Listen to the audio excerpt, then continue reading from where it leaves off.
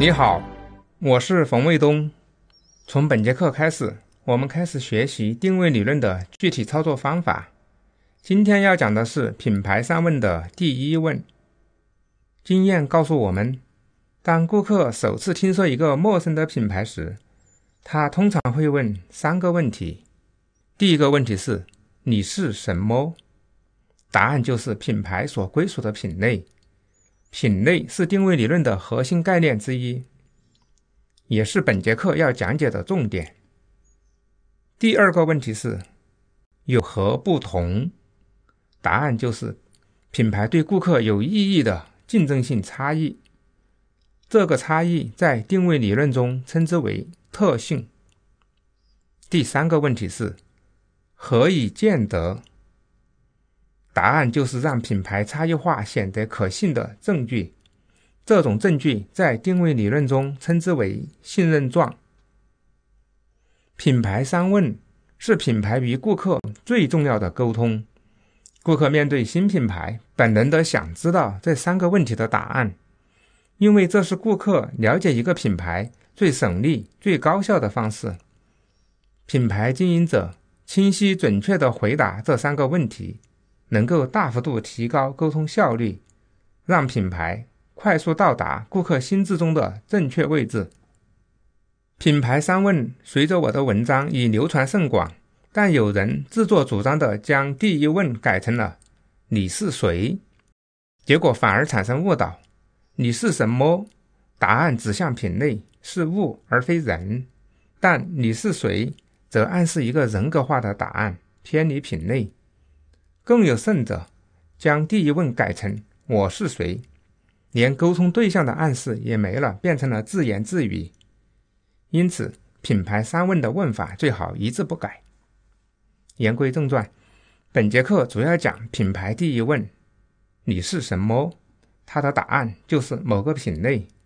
品类这个词在前面几节课已经多次出现，但并没有给出正式的定义。定位理论创始人之一阿尔里斯先生在《品牌的起源》一书中，正式奠定了品类概念在定位理论中的核心地位，对定位理论的发展做出了巨大贡献。李斯先生从生物进化论得到启发，发现商业也是一个演化中的生态系统，而品类则是商业的物种，具有和生物物种相似的演化规律，比如进化。分化衰亡，但抛开启发性的类比，品类的正式定义是什么呢？品类的正式定义就是顾客在购买决策中所涉及的最后一级商品分类，由该分类可以关联到品牌，并且在该分类上可以完成相应的购买选择。比如提到可乐，顾客就能够想到可口可乐；提到空调。顾客就能够想到格力，提到矿泉水，顾客就能够想到农夫山泉；提到超市，顾客就能够想到沃尔玛。因此，可乐、空调、矿泉水、超市这些都是品类。然而，有一些分类，顾客在购买决策中确实会涉及，但不是最后一级分类。顾客并不能基于该分类完成购买选择，而且。该分类通常也关联不到品牌，这样的分类概念就是抽象品类。为了强调与抽象品类的相对性，有时也把品类叫做具体品类。比如，在装修的某个阶段，顾客会说该买电器了。电器这个概念是顾客真实用到的，但如果家人让你去买一台电器，你一定会问什么电器？空调、冰箱？还是洗衣机。又比如，现代人关注健康，每天要吃水果。水果这个概念也是顾客真实使用的。但如果家人让你去买水果，你多半也会追问：想吃什么水果？苹果、橙子还是香蕉？因此，电器、水果都是抽象品类。抽象品类加上表示销售场所的字眼，往往可以转化为具体品类，比如。电器可以转化成电器店，水果可以转化成水果店，分别可以关联到苏宁、百果园等品牌。因此，电器店、水果店不再是抽象品类，而是具体的渠道品类。渠道品类涉及品类三阶论，且按下不表。除了品类和抽象品类，还有一些分类概念，比如白店、厨店，顾客在购买决策中根本不会涉及，只是业内人士或行业研究者才使用它们。但有的企业不明就里，把它们当作品类和顾客沟通。比如有品牌说自己是白店专家，也有品牌说自己是厨店专家。在这种使用方式中，白店、厨店就成了伪品类，也就是虚假的品类。为了强调与伪品类的相对性，有时也把品类叫做真品类。伪品类是常见的营销陷阱。当企业涉足多个品类的产品时，很容易发明一个企业内部的分类概念去概括这些产品。比如方太曾经宣传方太高端厨电专家与领导品牌，当只有方太做广告时，它的销量增长不错，因为有传播胜无传播。但竞争对手也开始做广告，并大力宣传老板大吸力油烟机领导品牌时，形势就发生了逆转，因为厨电是伪品类，而油烟机是真品类。品牌只有明确品类归属，才能有效对接顾客需求。这是因为品类还有另外一个定义，就是满足需求的具体手段，而且被顾客以自己理解的方式做出的分类。因此，每个具体品类都对应着顾客的某种具体需求。明确了品类，也就对接了需求。如果一个品牌不明确它归属的品类，或归属于一个伪品类，顾客就很难在产生相应需求时想到它。我有个学员做的品牌叫中草集，一开始生意清淡，但当他把门店招牌换成中草集化妆品之后，生意一下子就好了很多。因为明确了品类，顾客知道了中草集是什么，进店率就大幅提升了。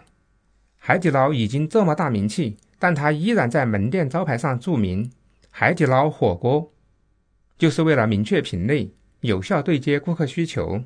这种做法值得众多餐馆学习。关于品类，还有很多重要的知识点，比如品类的进化、分化和衰亡，非常类似于生物界物种的进化、分化和灭绝。品类进化就是品类的不断完善，变得功能更强大，性能更稳定。使用更方便，性价比更高。可以想象，鞋子品类的起源很可能是因为某个原始人脚底受了伤，就用树皮包住脚走路，结果发现非常舒服。于是伤好了之后，仍然喜欢在脚底绑上树皮。最原始的鞋就这么诞生了，然后就不断进化。比如为了让穿鞋和脱鞋更方便。于是有结构的真正的鞋子就出现了，不再是原始的捆绑方式。品类进化现象无处不在，智能手机代表着品类高速进化的例子。它进化的速度非常快，不断升级换代，增加功能。它已经进化的如此强大，几乎消灭了照相机、收音机、录音机、手表、闹钟、手电筒、钱包等其他品类。当然。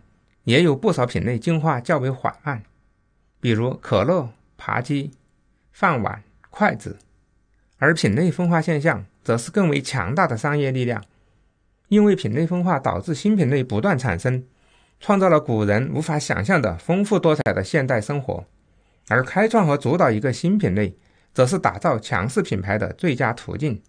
商业的历史表明，绝大部分强势品牌。都是在品类兴起的初期打造出来的，而品类的分化遵循着一定的规律，和物种的分化很相似。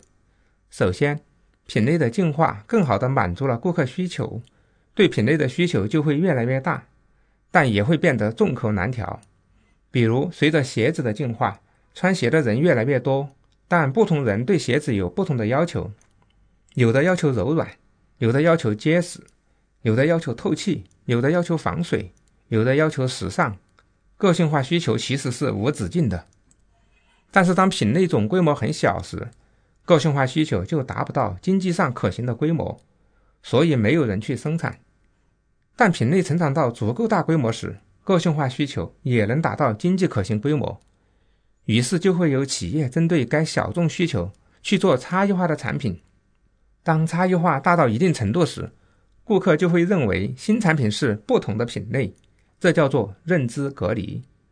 认知隔离是新品类形成的标志，就像生殖隔离是新物种形成的标志一样。以鞋子为例，为了方便随时穿和脱，出现了没有后跟的鞋子。和正常的鞋子很不一样，顾客就认为那是一种新的鞋子品类——拖鞋。鞋子品类分化的方式很多，比如用完全不同的材料，顾客就认为是不同的品类，例如草鞋、布鞋、皮鞋。除了按材料分化，还可以按用途分化，比如运动鞋、劳保鞋、雨靴。而且这种分化是没有止境的，品类完全分化之后，原来的品类就变成了抽象品类。早些年，运动鞋是一个具体品类，一双运动鞋什么运动都能穿。但现在，运动鞋已经变成了抽象品类。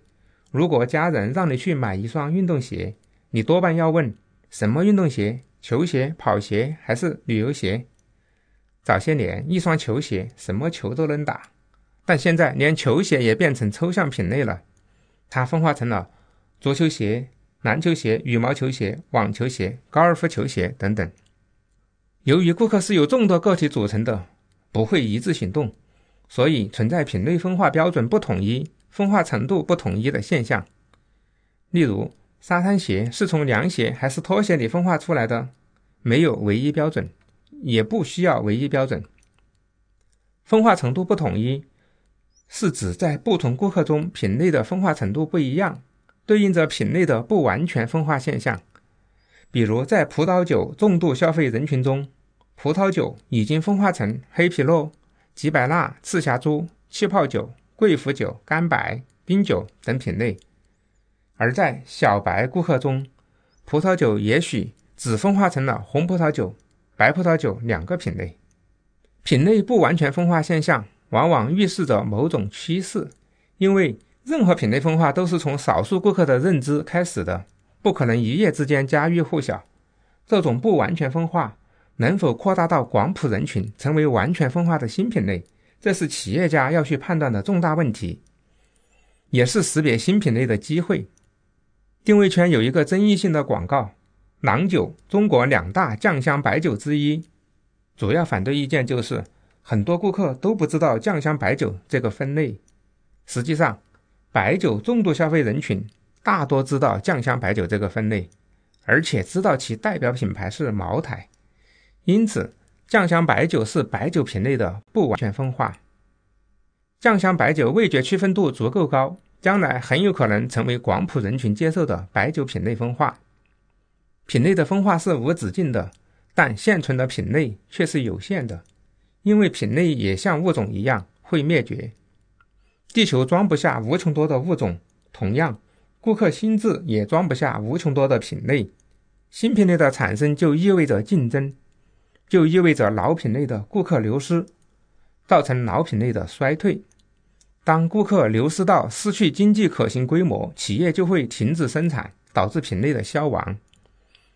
比如，电灯消灭了煤油灯，也消灭了作为照明用途的蜡烛。